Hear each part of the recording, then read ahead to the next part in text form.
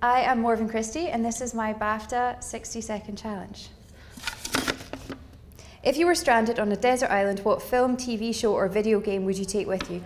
I would take um, Freaks and Geeks TV series box set, and I would take uh, Sweet 16 by Ken Loach. Which was the most challenging character you've played?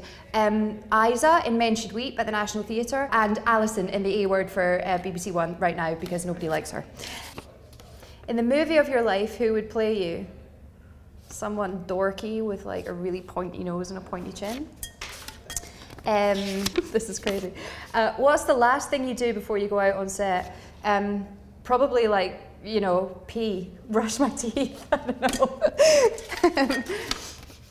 What or who made you want to become an actor? Uh, Gillies MacKinnon made a film called Small Faces that was set in Glasgow, and I'm from Glasgow, and I was like 15, 16 when that film came out. It was the first time I'd seen people with my voice on a screen, and that made me want to do it. Okay, final one. Who's your guru? That's really difficult. I'm going to say the Loach, Ken Loach. Thank you very much.